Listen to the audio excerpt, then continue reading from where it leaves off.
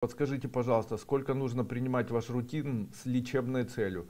Рутин является органическим э, антибиооксидантом или био, антибиоокислителем и э, фактически является, имеет ярко выраженное антиоксидантное действие, антикоагулянтное действие.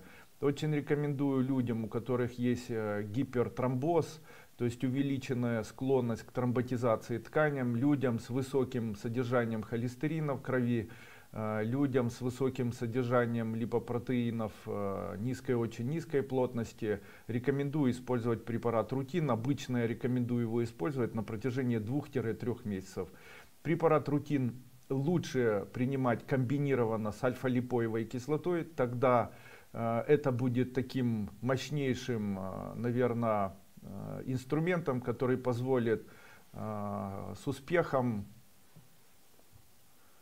восстановить работу сердечно-сосудистой системы и препятствовать возникновению атеросклероза и артериосклероза.